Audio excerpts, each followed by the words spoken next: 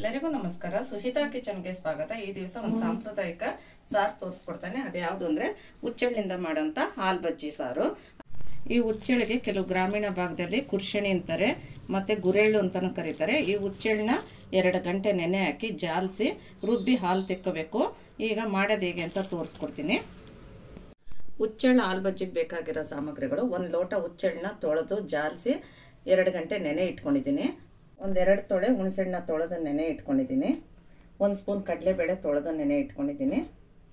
ಈಗ ಹಾಲು ಬಜ್ಜಿಗೆ, ಮಸಾಲೆಗೆ ಒಂದು ಎರಡು ಇಡಿ ತೆಂಗಿನಕಾಯಿ ತುರಿ, ಐದು ಬ್ಯಾಡಗಿ ಮೆಣಸಿನ್ಕಾಯಿ, ಎರಡು ಗುಂಟೂರು ಮೆಣಸಿನ್ಕಾಯಿ, ರುಚಿಗೆ ತಕ್ಕಷ್ಟು ಉಪ್ಪು, ಒಂದು ಗೆಡ್ಡೆ ಬೆಳ್ಳುಳ್ಳಿ ಇಲ್ಕೇನು ಸಿಪ್ಪೆ ತೆಗೆಯೋದು ಬೇಡ ಅರ್ಧ ಸ್ಪೂನ್ ಜೀರಿಗೆ, ಒಂದು ಕಡ್ಡಿ ಕೊತ್ತಂಬರಿ ಸೊಪ್ಪು ಬೇಕು. ಇವಿಷ್ಟು ಮಸಾಲೆ ರುಬ್ಕೊಳ್ಳಿಕ್ಕೆ.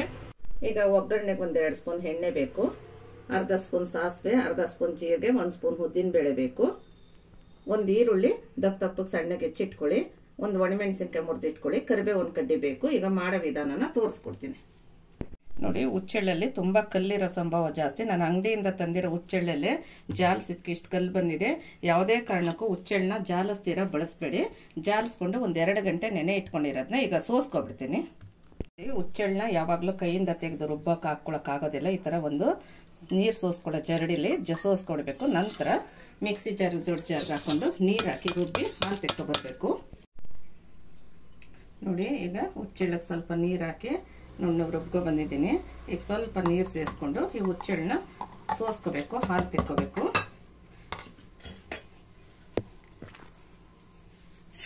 ಈಗ ಒಂದು ಪಾತ್ರೆ ಒಳಗೆ ಜಾಲರಿ ಇಟ್ಕೊಂಡು ಈ ರೀತಿ ಹುಚ್ಚೆಳ್ಳು ರುಬ್ಬಿದ್ನ ಹಾಕ್ಕೊಂಡು ಚೆನ್ನಾಗಿ ತಿರುಗಿಸ್ತಾ ಹಾಲು ತೆಕ್ಕೋಬೇಕು. ಗಟ್ಟಿ ಹಾಲು ತೆಕ್ಕೊಂಡಾದ್ಮೇಲೆ ಇನ್ನೊಂದು ಸಾರಿ ರುಬ್ಬಿ ತೆಳು ಹಾಲು ತೆಕ್ಕೋಬೇಕು.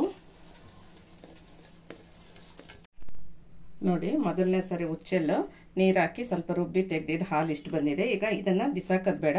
ಇನ್ನೊಂದು ಲೋಟ ನೀರು ಹಾಕೊಂಡು ಇದನ್ನು ಇನ್ನೊಂದು ಸಾರಿ ರುಬ್ಕೊಳ್ಳೋಣ ಆ ತೆಗೆದು ಎರಡನೇ ಸರಿ ತೆಕ್ಕೊಂಡಿದ್ದ ಹಾಲಿಂದ ಮತ್ತೆ ಮಸಾಲೆಗೆ ರುಬ್ಕೊಳ್ಳಿಕ್ಕೆ ಹಾಕೊಳ್ಳೋಣ ನೋಡಿ ಹುಚ್ಚೆಳ್ಳನ್ನ ಎರಡನೇ ಸಾರಿ ರುಬ್ಬಿ ಹಾಲು ತೆಕ್ಕೊಂಡಿದ್ದು. ಈ ಹಾಲಿನಲ್ಲೇ ಮಸಾಲೆ ರುಬ್ಕೋಬೇಕು. ಇದಕ್ಕೆ ಯಾವುದೇ ಗಟ್ಟಿ ಆಗೋದಕ್ಕೆ ಬೇರೆ ವಸ್ತು ಹಾಕಿರೋದಿಲ್ಲ. ಅದರಿಂದ ಈ ಹುಚ್ಚೆಳ್ಳ ಹಾಲಿನಲ್ಲೇ ಮಸಾಲೆ ರುಬ್ಕೋಬೇಕು. ಯಾವುದೇ ಕಾರಣಕ್ಕೂ ಇದು ಕುದಿಸಂಗಿಲ್ಲ. ಒಂದೊತ್ತಿಗೆ ಮಾಡ್ಕೊಳ್ಳೋ ಸಾಂಬಾರಿದು ತುಂಬ ರುಚಿಯಾಗಿರುತ್ತೆ. ಆರೋಗ್ಯಕ್ಕೆ ತುಂಬ ಒಳ್ಳೇದಿದು. ಇದು ಹಿಂದ್ಲ ಕಾಲದಲ್ಲಿ ಬಾಣಂತಿಯರಿಗೆ ಹುಚ್ಚೆಳ್ಳು ಎಣ್ಣೆ ಮತ್ತು ಮ, ಋತುಮತಿಯಾದ ಹೆಣ್ಮಕ್ಳಿಗೆ ಒಂದು ತಿಂಗಳು ಬರೀ ಹುಚ್ಚೆಳ್ಳೆಣ್ಣೆ ಕೊಡ್ತಿದ್ರು. ಅಂದರೆ ಅದೆಷ್ಟು ಒಳ್ಳೇದು ಅಂತ ನೀವೇ ಅರ್ಥ ಮಾಡ್ಕೊಳ್ಳಿ. ಮಾಡ್ಕೊಳ್ಳಿ. ತುಂಬ ರುಚಿಯಾಗಿರುತ್ತೆ ಈ ಸಾಂಬಾರು. ಈಗ ಒಗ್ಗರಣೆಗೆ ಇಟ್ಕೊಂಡು ಮಸಾಲೆ ರುಬ್ಕೊಳ್ಳೋಣ. ಈಗ ಗ್ಯಾಸ್ ಅನ್ಸ್ಕೊಂಡು ಒಂದು ಬಾಣಲಿ ಕಾಯಕ್ಕೆ ಇಟ್ಕೊಂಡಿದ್ದೀನಿ. ಮಸಾಲೆ ರುಬ್ಕೊಳ್ಳಿಕ್ಕೆ ಒಣಮೆಣಸಿನ್ಕಾಯಿ ಹುರ್ಕೋಬೇಕು. ಅದಕ್ಕೆ ಒಂದು ಅರ್ಧ ಸ್ಪೂನ್ ಎಣ್ಣೆ ಹಾಕ್ಕೊಂಡಿದ್ದೀನಿ. ನೋಡಿ, ಐದು ಬ್ಯಾಡಿಗೆ ಮೆಣಸಿನ್ಕಾಯಿ, ಎರಡು ಖಾರದ ಮೆಣಸಿನ್ಕಾಯಿ ಹಾಕ್ಕೊಂಡಿದ್ದೀನಿ. ಇದನ್ನು ಗರ್ಗರೆ ಆಗೋವರೆಗೂ ಹುರ್ಕೋಬೇಕು. ನೋಡಿ, ಈಗ ಮೆಣಸಿನ್ಕಾಯಿ ಹುರ್ಕೊಂಡಾಗಿದೆ. ಮಿಕ್ಸಿ ಜಾರ್ಗೆ ತೆಕ್ಕೊಬಿಡೋಣ ಈಗ ಅದೇ ಬಾಣಲಿಲಿ ಹುಚ್ಚೆಳ್ಳು ಹಾಲು ಬಜ್ಜಿಗೆ ಒಗ್ಗರಣೆಗೆ ಹಾಕೊಬಿಡೋಣ. ಎರಡು ಸ್ಪೂನ್ ಎಣ್ಣೆ ಹಾಕ್ಕೊಂಡಿದ್ದೀನಿ ಅರ್ಧ ಸ್ಪೂನ್ ಸಾಸಿವೆ, ಅರ್ಧ ಸ್ಪೂನ್ ಜೀರಿಗೆ, ಒಂದು ಸ್ಪೂನ್ ಉದ್ದಿನಬೇಳೆ ಹಾಕೊಬಿಡೋಣ. ಚಟಪಟ ಅಂದ ತಕ್ಷಣ ಒಂದು ಒಣಮೆಣಸಿನ್ಕಾಯಿ ಹಾಕೊಳ್ಳೋಣ.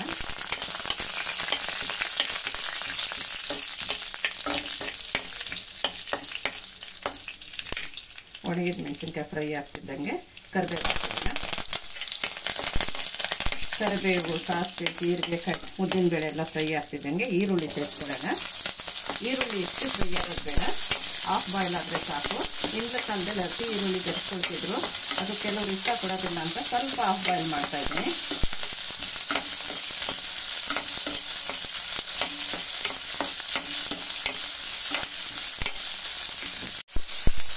ನೋಡಿ ಇಷ್ಟು ಹಾಫ್ ಬಾಯ್ಲ್ ಆದರೆ ಸಾಕು ಈರುಳ್ಳಿ. ಈಗ ಗ್ಯಾಸ್ ಆಫ್ ಮಾಡಿಬಿಟ್ಟು ಬಾಣಲಿಲಿ ಒಗ್ಗರಣೆ ಹಾರಲಿ ಅಷ್ಟಕ್ಕೆ ಮಸಾಲೆ ರುಬ್ಬೋ ಬಂದ್ಬಿಡೋಣ.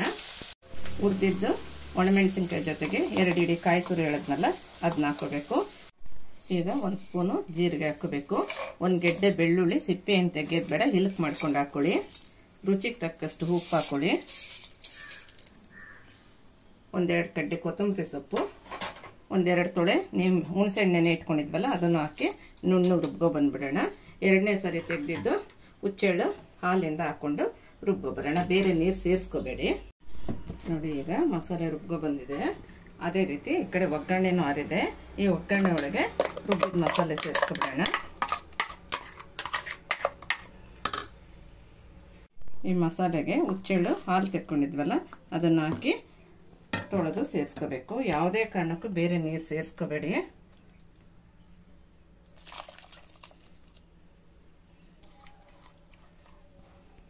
ನೋಡಿ, ಮಿಕ್ಸಿ ಜಾರಲ್ಲಿ ಉಳ್ಕೊಂಡಿರೋ ಮಸಾಲೆಗೆ ಸ್ವಲ್ಪ ಹುಚ್ಚೆಳ್ಳು ಹಾಲು ತೆಕ್ಕೊಂಡಿದ್ವಲ್ಲ ಅದನ್ನು ಹಾಕಿ ತಿರುಗಿಸ್ಕೊಡ್ಬೇಕು. ನೋಡಿ, ಈ ಹದಕ್ಕೆ ಯಾವಾಗಲೂ ಹುಚ್ಚೆಳ್ಳು ಹಾಲು ಬಜ್ಜಿ ರೆಡಿ ಆಗುತ್ತೆ. ಕೊನೆಯದಾಗಿ ನೆನೆಸಿಟ್ಕೊಂಡಿದ್ದು ಕಡಲೆಬೇಳೆನ ಮಿಕ್ಸ್ ಮಾಡಬೇಕು. ಮಿಕ್ಸ್ ಮಾಡಿ ಒಂದು ಐದು ನಿಮಿಷ ನೆನೆ ಇಟ್ಬಿಡ್ಬೇಕು. ಆ ಕಡೆ ಮುದ್ದೆ ಮಾಡ್ಕೊಂಡು ಈ ಕಡೆ ಊಟ ಸರ್ವ್ ಮಾಡಿದ್ರೆ ತಿಂದವನೇ ಬಲ್ಲ, ಊಟದ ರುಚಿ ಅಂದಂಗೆ, ಬಲ್ಲವನೇ ಬಲ್ಲ, ಊಟದ ರುಚಿ ಅಂದಂಗೆ ಈ ಸಾರು ತುಂಬ ಚೆನ್ನಾಗಿರುತ್ತೆ. ಈಗ ಮುದ್ದೆ ಮಾಡಿ ಸರ್ವ್ ಮಾಡಿ ತೋರಿಸ್ತೀನಿ. ನೋಡಿ ಮಸಾಲೆ ಹುಚ್ಚೆಳ್ಳಿಂದ ರುಬ್ಬಿ ತೆಗೆದ ಹಾಲೆಲ್ಲ ಮಿಕ್ಸ್ ಮಾಡಿದ್ಮೇಲೆ ಈಗ ಸಾರು ರೆಡಿ ಆಯಿತು. ಒಂದು ಒಳ್ಳೆ ಮಿಕ್ಸ್ ಕೊಟ್ಬಿಟ್ಟು ಸರ್ವಿಂಗ್ ಬೌಲಿಗೆ ತೆಕ್ಕೊಂಡು ಡಿಶ್ ಔಟ್ ಮಾಡಿ ತೋರಿಸ್ತೀನಿ. ನೋಡಿದ್ರಲ್ಲ, ರುಚಿ ರುಚಿಯಾದ, ಆರೋಗ್ಯಕರವಾದ ಹುಚ್ಚೆಳ್ಳು ಹಾಲು ಬಜ್ಜಿ ಮಾಡಿ ತೋರಿಸಿದ್ದೀನಿ ನೀವು ನಿಮ್ಮ ಮನೇಲಿ ಮಾಡಿ ಹೇಗಿದೆ ಅಂತ ನಾನು ಕಮೆಂಟ್ ಮಾಡಿ ಹೇಳಿ. ಹೊಸ್ದಾಗಿ ನನ್ನ ಚಾನಲ್ ನೋಡ್ತಾ ಇರೋರು ಪ್ಲೀಸ್ ಸಬ್ಸ್ಕ್ರೈಬ್ ಮಾಡಿ ಲೈಕ್ ಮಾಡಿ ಶೇರ್ ಮಾಡಿ ಕಮೆಂಟ್ ಮಾಡಿ. ಬೆಲ್ಲೈಕನ್ ಮೇಲೆ ಪ್ರೆಸ್ ಮಾಡಿ. ಹೊಸ ನೋಟಿಫಿಕೇಶನ್ಗೋಸ್ಕರ ಮುಂದಿನ ಹೊಸ ರೆಸಿಪಿಯೊಂದಿಗೆ ಮತ್ತೆ ಭೇಟಿಯಾಗೋಣ. ನಮಸ್ತೆ.